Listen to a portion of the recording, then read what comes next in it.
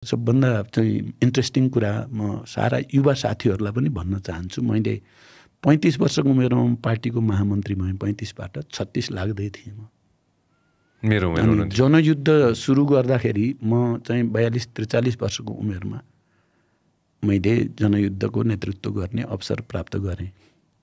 एकाउन्न वर्षमा म शान्ति सम्झौतातिर एकाउन्न बाहन्न वर्षको उमेरमा म शान्ति सम्झौताको हस्ताक्षरकर्ताको रूपमा देशमा शान्ति कायम गर्ने कुराको नेतृत्व गर्न पाएँ। त्यसको दुई तिन वर्षपछि म प्रधानमन्त्री हुन र देशको चाहिँ बारेमा बुझ्ने र सेवा गर्ने अर्को मौका पाएँ भने यो सबै चाहिँ करिब करिब म युवा अवस्थामै मैले गरेका कर्महरू छन्। त्यहाँ युवाहरूले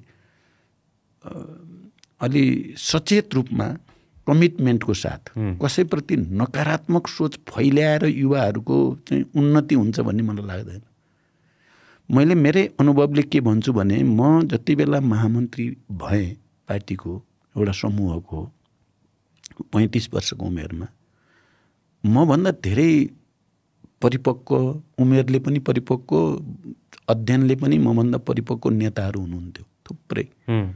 त्यति बेला जस्तो भक्तबहादुर श्रेष्ठ कम्बसिंह कुँवर अब मोहन वैद्य किरण होइन सिपी गजुरेल यी सबै मभन्दा चाहिँ सिनियर लिडरहरू हुन्। मैले कसैको विरोध नगरिकन बरु सिनियरहरू सबैलाई सम्मान गरेर म आफ्नो सक्रियताद्वारा आफ्नो निष्ठाद्वारा आफूले चाहिँ सकेको जति योगदान गर्ने उद्देश्यद्वारा चाहिँ सबैको मन जितेर सिनियर लिडरले नै अब चाहिँ नेतृत्व चाहिँ मलाई दिनुपर्छ भनेर उहाँहरूले प्रस्ताव राखेर भएको हो म। त्यस कारण बुढाहरूलाई गाली गरेर यी तिमीहरू जाऊ नो नट अगेन भनेर भएको चाहिँ होइन म।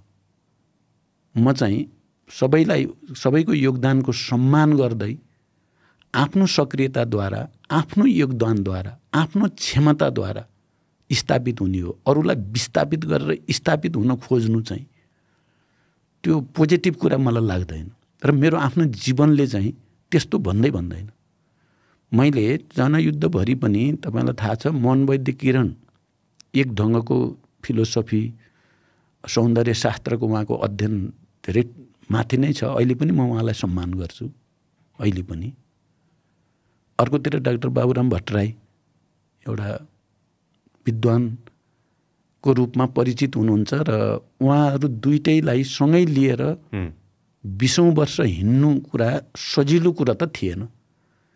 म भित्र केही न केही सबै प्रवृत्तिलाई मिलाउने खालको गुण नभएको भए बाबुराम विद्वान पनि हो अलि अप्ठ्यारो मान्छे पनि हो नि बाबुरामजी फेरि? उहाँ आउनु भएको थियो बसेको थिएँ म उहाँसँग। उहाँ अब वैद्यजी पनि विद्वान पनि हो तर अप्ठ्यारो मान्छे पनि हो उहाँ पनि। उहाँहरू दुवैजनालाई चाहिँ ठिक सन्तुलनमा राखेर जनयुद्ध शान्तिसम्म आउने कुरा सानो कुरा थिएन।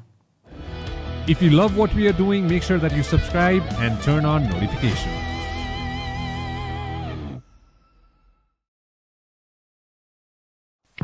This program is brought to you by Vyas Studios.